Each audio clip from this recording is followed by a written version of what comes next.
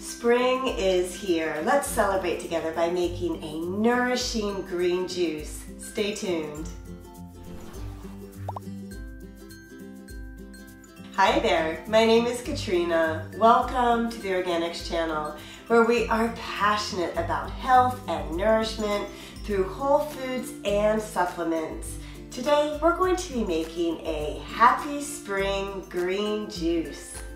Let's begin today by adding about one inch of turmeric root to your juicer. Some studies have shown that turmeric juice can aid in digestion and inflammation of the digestive tract. Next, we're going to add in fresh spinach leaves. I like to bunch mine together just to make sure I can get as much juice out of it as possible. Spinach juice is high in vitamin A and antioxidants, which may support good vision. And now we're ready to add in about five kale leaves. Fresh kale juice provides nutrients that may increase your energy and also support good eye health. Three to four stalks of celery. Celery juice is made up of about 95% water, making it a wonderful hydrating juice. Next we have one half of a cup of fresh parsley that may help soothe your digestion by decreasing bloating and help with elimination. One to two apples, just depending on how sweet you want your juice to be. Watch out for flying parsley leaves like I am.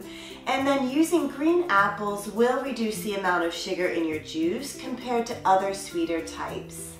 One half of a lemon, peeled or unpeeled, and now to our juice, we're going to add in one half of a cup of hydrating coconut water that is rich in electrolytes which may reduce stress and fatigue.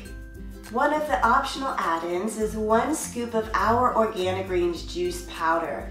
This includes prebiotics, probiotics, enzymes, and sprouted and fermented superfoods like spirulina, barley grass, and kelp.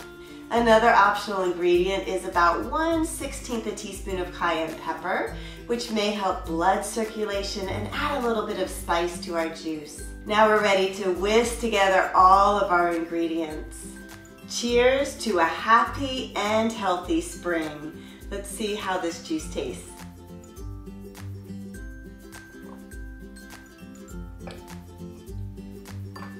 That is a wonderful green drink. It's slightly sweet with the apple. There's only a little bit of spice. I only added in a little bit of cayenne.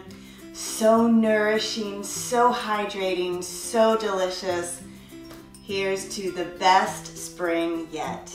Thanks so much for joining me today. Make healthy choices this week and I look forward to seeing you next week in the kitchen. Take care. Bye-bye.